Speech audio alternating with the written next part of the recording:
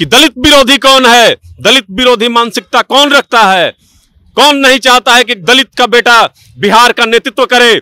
किसके दबाव में बारह जनपद को खाली कराया गया और खाली ही नहीं कराया गया? स्वर्गीय रामविलास पासवान जी के चित्र को और संविधान रचयिता बाबा साहेब भीमराव अंबेडकर के मूर्ति को किसने खंडित किया?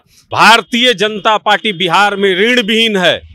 और बिहार की बर्बादी में जितना जनता दल यूनाइटेड भागीदार है, उतने ही हिस्सेदार भारतीय जनता पार्टी भी है। यहाँ पर जब इनके महिला विधायक को मुख्यमंत्री द्वारा जब अपमानित शब्द बोले जाते हैं तो इनके विधायक और मंत्रियों को सांप सूंघ जाता है। बिहार की बहू को जिस तरीके से बेइज्जत किया गया दिल्ली में, और बेइज्जत करने वाले लोग कौन थे? भारत सरकार की संपदा विभाग फोर्स लेकर आती है। सीआरपीएफ दिल्ली पुलिस, महिला पुलिस और हमारे स्वर्गीय संस्थापक जिस बेड पर सोते थे, उस बेड को रौंदा जाता है। बिहार की तेरह करोड़ आवाम और बोचहा की महान जनता क्या यह भूल सकती है कि हमारे स्वर्गीय संस्थापक पद्म भूषण देश के दूसरे अंबेडकर, रामविलास पासवान जी के परिवार को किसने बेइज्जत किया है? हमारी पार्टी आपने तोड़ दिया। परिवार तोड़ दिया। बंगला छीन लिया। आप हर चीज़ ले सकते हैं, लेकिन हमारा मान और स्वाभिमान को आप कुचल नहीं सकते हैं। बारह जनपद को खाली कराने के तरीके में पूरे बिहार का अपमान था, और यह पूरे बिहार की जनता देखी है। समय आने पर वोट की चोट से इसका भी बदला जनता लेगी। सत्ता परिवर्तन हम लोग नहीं कर देंगे बिहार में, तब तक हम लोग चैन से बैठने वाले नहीं हैं। और साजिशन, चूँकि हमारे नेता ऑलरेडी पहले ही बारह जनपद को खाली कर रहे थे लेकिन इनको आश्वासन देकर रोका गया। और रोकने के पीछे अब देखने से लगता है कि बेइज्जत करने की एक जो रणनीति थी वह किसी दबाव में थी। इसके दबाव में सर? और प्रधानमंत्री जी नीति आयोग की रिपोर्ट जब जारी करते हैं तो बिहार में गठबंधन भारतीय जनता पार्टी और जनता दल यूनाइटेड का है। यहाँ पर लगातार महिलाओं का अपमान हो रहा है लड़कियों का बलात्कार हो रहा है दलित महिलाओं का बलात्कार हो रहा है बैंक डकैती हो रही है छिनतई हो रही है लूट हो रही है हत्या बेरोजगारी अपने चरम पर है। अगर इन सब विषयों को लेकर आदरणीय चिराग पासवान जी सड़क पर उतरते हैं तो किसी को दिक्कत नहीं होनी चाहिए। बिहार में अगर कोविड के समय में अगर हज़ारों लोग और मरे थे उसके लिए जिम्मेवार और जवाबदेह यहाँ के स्वास्थ्य मंत्री और यहाँ के मुख्यमंत्री थे। नमस्कार, जनता जंक्शन में आपका स्वागत है। मैं हूँ पंकज। देखिए, चिराग पासवान का बंगला खाली कराया जा चुका है।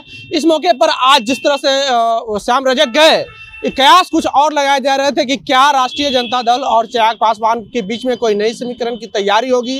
इन सभी मुद्दों पर हम बात करेंगे। हमारे साथ में लोक जनशक्ति पार्टी रामविलास के प्रवक्ता चंदन सिंह। चंदन जी, ये बताइए, आज रामविलास चिराग पासवान का बंगला खाली कराया गया, जा चुका है और इस मौके पर श्याम रजक जी का जाना, क्या संदेश है आप लोग का? नहीं, देखिए, श्याम रजक जी तो पूर्व मंत्री रहे राष्ट्रीय जनता दल के वरिष्ठ नेता हैं और साथ में दलित विचारक भी हैं और हमारे स्वर्गीय संस्थापक पद्म भूषण देश के दूसरे अंबेडकर, श्री रामविलास पासवान जी के सहयोगी भी रहे हैं। बहुत घनिष्ठ संबंध रहे हैं, उस नाते हमारे नेता, आदरणीय चिराग पासवान जी से उनकी मुलाकात हुई है। बारह जनपद में जिस तरीके से मकान को खाली कराया गया, उस तरीके पे उन्होंने दुख व्यक्त किया और बिहार के वो तमाम नेता, जो दलीय राजनीति से ऊपर उठकर इस तरीके की भर्सना की, इसी सब विषयों पे बात हुआ। इसमें राजनीतिक कोई विषय नहीं थे। हमारे नेता, आदरणीय चिराग पासवान जी ने स्पष्ट कर दिया है कि यह राजनीतिक मुलाकात नहीं थी। अच्छा ये बताइए राम जी का हनुमान का अलग होना क्या संदेश देता है? कोई अलग करवाया गया है गया है किसी के द्वारा या फिर खुद अलग हुए हैं? देखिए भारतीय जनता पार्टी किसी के दबाव में आकर और इनके शीर्ष नेताओं के द्वारा हमारे नेता आदरणीय चिराग पासवान जी को बुलाकर आश्वासन दिया गया कि आपके 12 जनपद को खाली नहीं कराया जाएगा। और साजिशन चूँकि हमारे नेता ऑलरेडी पहले ही 12 जनपद को खाली कर रहे थे लेकिन इनको आश्वासन देकर रोका गया। और रोकने के पीछे अब देखने से लगता है कि बेइज्जत करने की एक जो रणनीति थी वह किसी दबाव में थी। किसके दबाव में सर? अब किसके दबाव में थी यह तो देखिए हमारे पास तो सीआईडी सीबीआई और रॉ तो है नहीं कि हम बता सकें। लेकिन उन्हीं लोगों के दबाव में होगी जिसके विरोध में लोक जनशक्ति पार्टी रामविलास रात दिन बिहार के हर ज़िले में जाती है और जनसंवाद करती है। तो कहीं ना कहीं उसके दबाव का असर भारतीय जनता पार्टी के शीर्ष नेता भी उस दबाव में आए और बाबा साहेब भीमराव अंबेडकर की मूर्ति और हमारे संस्थापक स्वर्गीय रामविलास पासवान जी के चित्र को जिस तरीके से रौंदा गया और बिहार की बहू, स्वर्गीय रामविलास पासवान जी की धर्मपत्नी, आदरणीय चिराग पासवान जी, इनकी बहन और पूरे परिवार को सड़क पर लाकर जिस तरीके से खड़ा कर दिया गया, उससे पूरा देश और बिहार के तेरह करोड़ आवाम दुखी है, चिंतित है और गुस्से में है। अच्छा ये बताइए आप सीधे सीधे आरोप कहीं ना कहीं इनडायरेक्टली रूप से मुख्यमंत्री नीतीश कुमार पर लगा रहे हैं पर मुख्यमंत्री इतने मज़बूत तो नहीं है बिहार में। बिहार में उनकी लगातार जो है फजीयत हो रही है कई अन्य मुद्दे पर। हमें ये बताइए कि आप लोग अभी भी राम के हनुमान बने रहेंगे या फिर लंका ढाने की कोई रणनीति बना रहे हैं? नहीं देखिए ह- राम और हनुमान की जो बात थी वो चुनाव के दरमियान अब आप ही लोग के द्वारा उठाई गई थी। यहाँ बात है बिहार के तेरह करोड़ आवाम का।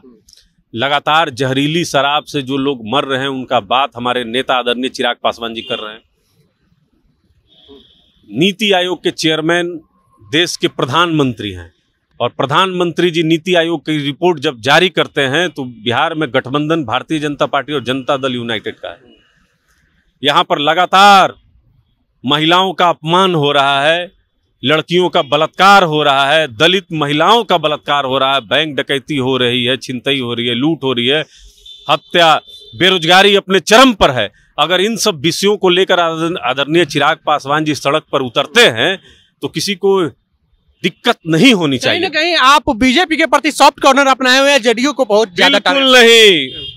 भारतीय जनता पार्टी बिहार में ऋण विहीन है और बिहार की बर्बादी में जितना जनता दल यूनाइटेड भागीदार है, उतने ही हिस्सेदार भारतीय जनता पार्टी भी है। यहाँ पर जब इनके महिला विधायक को मुख्यमंत्री द्वारा जब अपमानित शब्द बोले जाते हैं तो इनके विधायक और मंत्रियों को सांप सूंघ जाता है।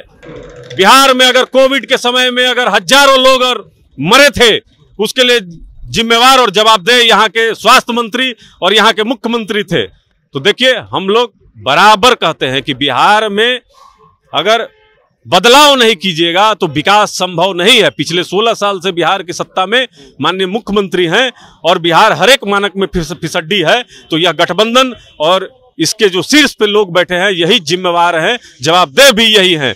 तो बिहार में कुव्यवस्था का जो राज है जिसको हम लोग बराबर हम लोग विरोध करते हैं तो किसी को कम किसी को ज़्यादा ये कोई मापदंड नहीं है। अच्छा। लेकिन यहाँ पर कानून व्यवस्था नहीं है, यहाँ पर रोज़गार नहीं है, यहाँ पर शिक्षा और स्वास्थ्य नहीं है, इन सब विषयों को लेकर लोक जनशक्ति पार्टी रामविलास बिहार के अड़तीसों जिला में संघर्ष कर रही है और हम हम, हमारी पार्टी आपने तोड़ दिया, परिवार तोड़ दिया, बंगला छीन लिया, आप हर चीज़ ले सकते हैं, लेकिन हमारा मान और स्वाभिमान को आप कुचल नहीं सकते हैं।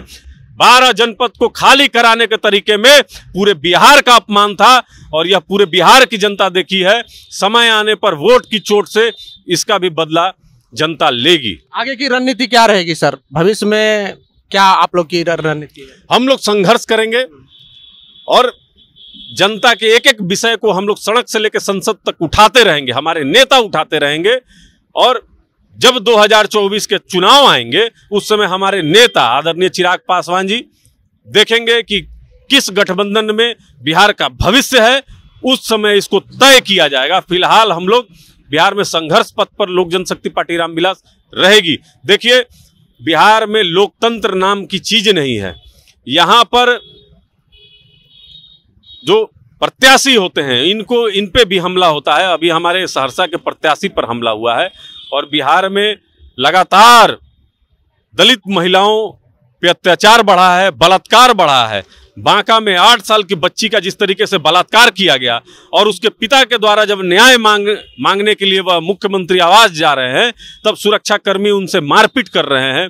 एक चौदह साल का बच्चा अपने पिता के न्याय के लिए आत्महत्या कर लेता है। बिहार के सबसे बड़े सपूत बाबू वीर कुंवर सिंह के परपौत्र को यहाँ की प्रशासन हत्या कर देती है तो आप समझिए कि यहाँ पर जो भी सामाजिक लोग हैं और समाज के जागरूक प्रहरी हैं, उनके जान पे बराबर खतरा बना हुआ है। माननीय मुख्यमंत्री को विकास से, बिहार के विकास से कुछ लेना देना नहीं है, कोई मतलब नहीं है। ना यहाँ यहाँ के जो गठबंधन के सहयोगी हैं, उनको मतलब है, यहाँ सिर्फ़ ये लोग सत्ता की मलाई खा रहे हैं और एक दूसरे का पीठ सहला रहे हैं। लेकिन लोक जनशक्ति पार्टी सड़क से लेकर संसद संसद तक संघर्ष करेगी, जब तक सत्ता परिवर्तन हम लोग नहीं कर देंगे बिहार में तब तक हम लोग चैन से बैठने वाले नहीं हैं। अच्छा बोचहा में उपचुनाव चल रहे हैं उस पर आप लिखो की क्या रणनीति थी? देखिए बोचहा की महान जनता यह सब देख रही है। बारह जनपद जिस तरीके से खाली कराया गया पद्म भूषण स्वर्गीय राम विलास पासवान जी की धर्म पत्नी उनके पुत्र चिराग पासवान इनकी बहन और इनके परिवार के अन्य सदस्यों को जिस तरीके से बेइज्जत करने का काम किया गया। स्वर्गीय राम विलास पासवान बिहार के सपूत थे, लाल थे, और उनकी पत्नी बिहार की बहू। बिहार की बहू को जिस तरीके से बेइज्जत किया गया, दिल्ली में, और बेइज्जत करने वाले लोग कौन थे? भारत सरकार की संपदा विभाग फोर्स लेकर आती है। सीआरपीएफ दिल्ली पुलिस, महिला पुलिस और हमारे स्वर्गीय संस्थापक जिस बेड पर सोते थे, उस बेड को रौंदा जाता है। बिहार की तेरह करोड़ आवाम और बोचहा की महान जनता क्या यह भूल सकती है कि हमारे स्वर्गीय संस्थापक पद्म भूषण देश के दूसरे अंबेडकर, रामविलास पासवान जी के परिवार को किसने बेइज्जत किया है? वोट की चोट बोचहा में जो मिलेगी, उसको बेइज्जत करने वाले लोग भूलेंगे नहीं। वहाँ की जनता जो है हमारे स्वर्गीय संस्थापक पद्म भूषण रामविलास पासवान जी को चाहने वाले लोग हैं। भगवान की तरफ़ पूछते हैं और भगवान का जब तिरस्कार और उनका जब अपमान होता है तो भक्त बर्दाश्त नहीं करेंगे। इसका जवाब वोट से देंगे। बोचहा में खेला होगा। बोचहा में बोचहा की महान जनता किसको वोट करना है? बारह नंबर जनपद की जो घटना है, इसको ध्यान से देखें और भूले नहीं कि दलित विरोधी कौन है? दलित विरोधी मानसिकता कौन रखता है? कौन नहीं चाहता है कि दलित का बेटा बिहार का नेतृत्व करे?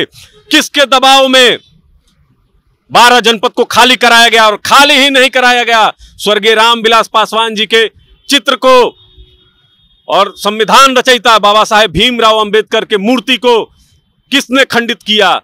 रास्ता पर किसने फेंका? किसके पुलिस ने फेंका? तो बिहार के बेटे का और बिहार की बहू का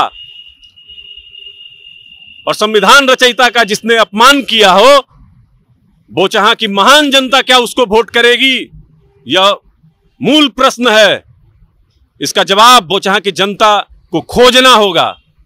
तो जब तक सत्ता परिवर्तन नहीं कर देंगे हम लोग, चैन से बैठने वाले लोग नहीं हम लोग, ऐसा कहना है चंदन सिंह, जो कि लोक जनशक्ति पार्टी रामविलास के प्रवक्ता हैं। बहरहाल, आपको हमारे वीडियो कैसा लगा आप अपनी प्रतिक्रिया कमेंट बॉक्स में ज़रूर दें। अगर आप यूट्यूब चैनल पर देख रहे हैं तो चैनल को सब्सक्राइब कर लें। फेसबुक पेज पर देख रहे हैं तो पेज को लाइक कर लें। बहुत बहुत धन्यवाद।